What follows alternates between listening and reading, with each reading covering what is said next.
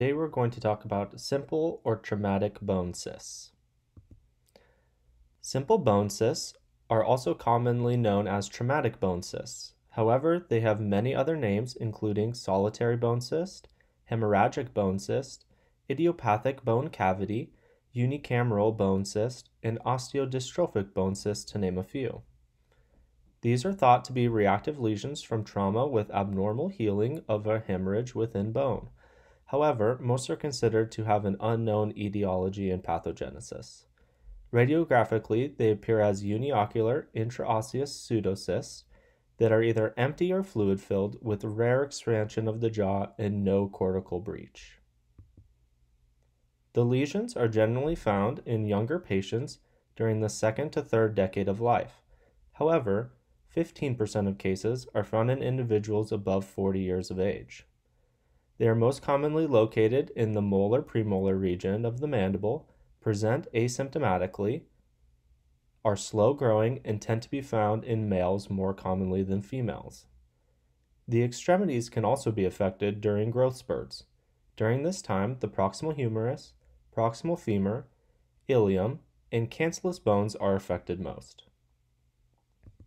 Its histological findings include inflammatory mediators if fluid is present. The pseudocyst walls form from fibrovascular stroma with immature bone, cementum like material, osteoclast giant cells, and mesenchymal cells found deep to the stroma. Traumatic bone cysts are incidentally found on imaging performed during routine clinical radiography since they rarely present with clinical expansion. They are mostly asymptomatic but can occasionally cause pain or tenderness, especially if secondarily infected in association with florid cemento-osseous dysplasia. Although it is a slow-growing lesion, they may become large if not found during routine appointments. However, there is no evidence that they can cause fracture of the jaws. It is also noted that the pulps of involved teeth remain vital, so be careful in diagnosing any possible pain in the affected region. Radiographic presentation includes a characteristic scalloping border between the roots of adjacent teeth, typically in the posterior mandible region. The lesion's border is non-corticated to thinly corticated and has little to no effects on surrounding structures and soft tissue. Although there is generally no expansion present, it is seen on rare occasions along with teeth displacement. The first image we'll be looking at is part of a pantomograph of a 16 year old female patient with a typical presentation of a traumatic bone cyst. Here to the right, you can see a uniocular radiolucency in the molar region of the mandible with characteristic scalloping along the molar roots with no sign of root resorption. When biopsied, the cavity was found to be empty and lacked an epithelial lining. The second case here involves a 16 year old male. The pantomograph indicates a well-defined, thinly corticated uniocular radiolucency extending from the distal surface of tooth 29 to the distal surface of tooth 30 at mid-root level. It extends towards the inferior border of the mandible. The lamina dura is intact without any sign of tooth displacement and root resorption. A periapical radiograph was also taken of this same patient of the premolar region showing a clear image of the lesion involving the roots of tooth 29 and 30. Again, you can see the well-defined, thinly corticated lesion with characteristic scalloping around the roots, all while the lamina dura and other anatomical structures are maintained. The last image of the case is a mandibular occlusal radiograph that shows no expansion of the buccal and lingual cortical plates in the mandibular right posterior region. When diagnosing traumatic bone cysts, it is important to include odontogenic keratocysts, central giant cell granulomas, periapical cemento-osseous dysplasia, and malignancy on the differential diagnosis list.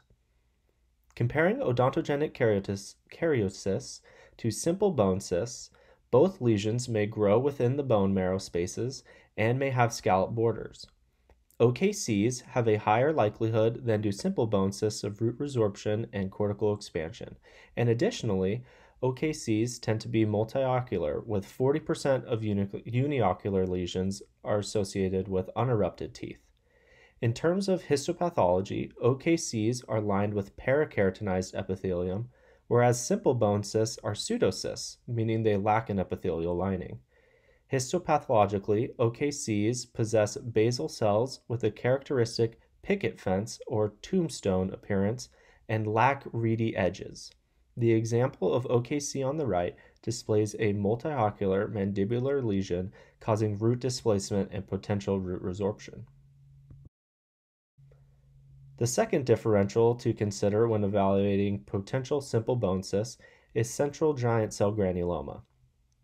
Central giant cell granulomas tend to have a variable radiographic appearance but tend to be multiocular, although uniocular lesions can also appear.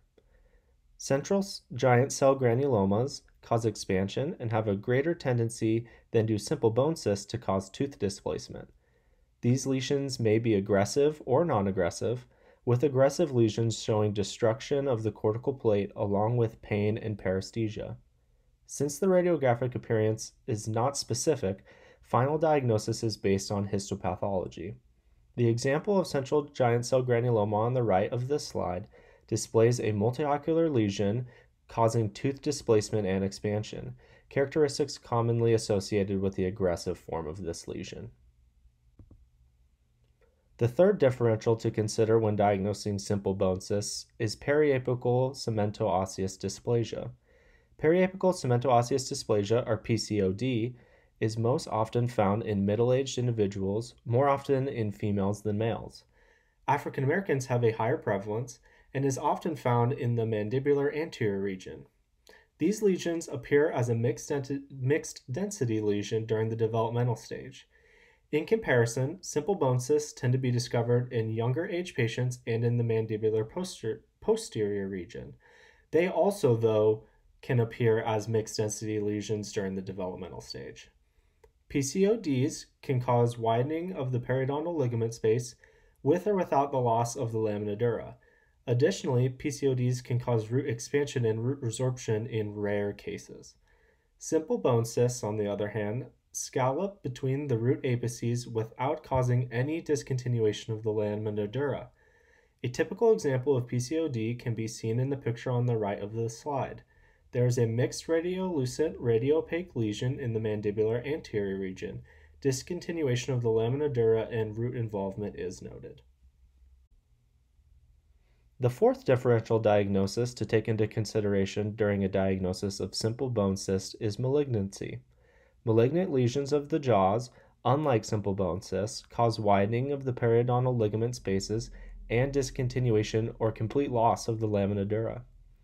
Additionally, characteristics such as rapid bone destruction and irregular bone resorption are common features of malignancy. Simple bone cysts, however, tend to res- respect anatomical features and boundaries, allowing for the lamina dura to remain intact, not causing expansion, not involving root resorption, and not involving root displacement. To the right is an example of a malignancy, specifically chondrosarcoma. Significant alveolar bone destruction, root resorption, and thinning of the lower border of the mandible are all noted. Treatment of choice is to curette the bone walls, which results in a short term healing. However, some cases result in spontaneous healing without any treatment at all. If the lesion is treated surgically, the recurrence rate is very rare. If there is recurrence, it is generally within three months after surgery. The recurrence rate is much higher if it is involved with multiple cysts, with a consequential 71% reoccurrence, or if this lesion is associated with florid cemento-osseous dysplasia, in which a 75% reoccurrence rate is observed.